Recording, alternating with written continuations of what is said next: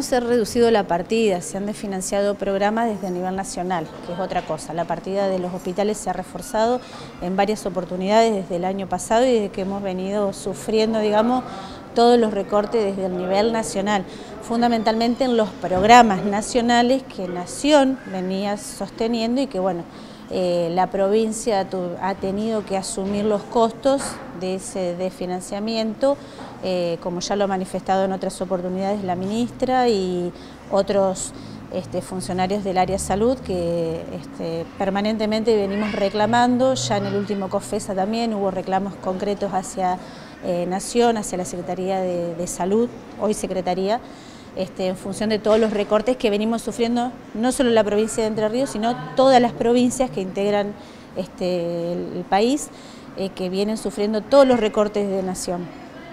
Y hoy la ministra lo mencionaba, faltan vacunas.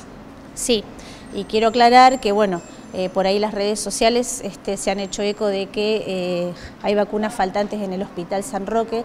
En realidad la faltante de vacunas es en toda la provincia.